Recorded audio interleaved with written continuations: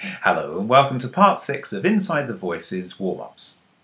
In this section we'll be looking at clarifying articulation. And we do this by making sure that the jaw is nice and loose and that the primary articulation work is being done with the tongue, not the jaw.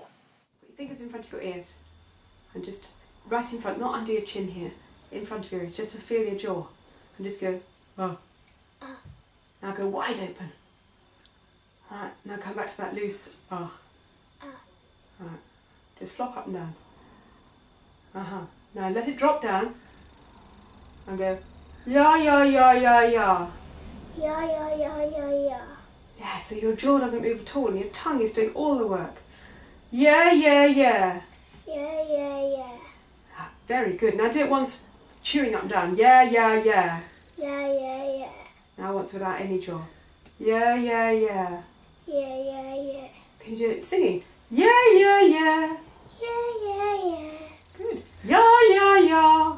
Yeah, yeah, yeah. Having got a nice released jaw, we now work on isolating the tongue from the jaw action. You've been eating this big ice cream that's covered in hundreds and thousands, and they're all around the outside of your mouth. And I want you to lick them off one at a time. And then round there.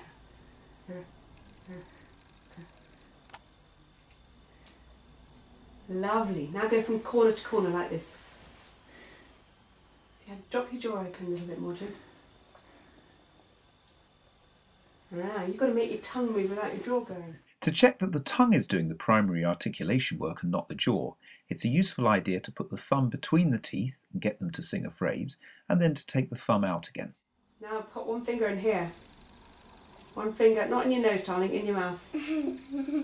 That's it. Yellow, blue, yellow, blue, yellow. And Yellow, blue, yellow, blue, yellow. make that tongue work really hard. I don't want to know your fingers in there. And Yellow, blue, yellow, blue, yellow. slip it out.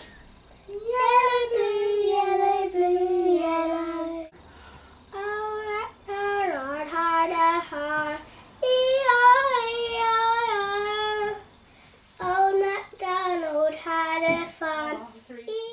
And finally, we work on a variety of tongue twisters, but notice how the primary articulation work is being done with the tongue and that the jaw is nice and free.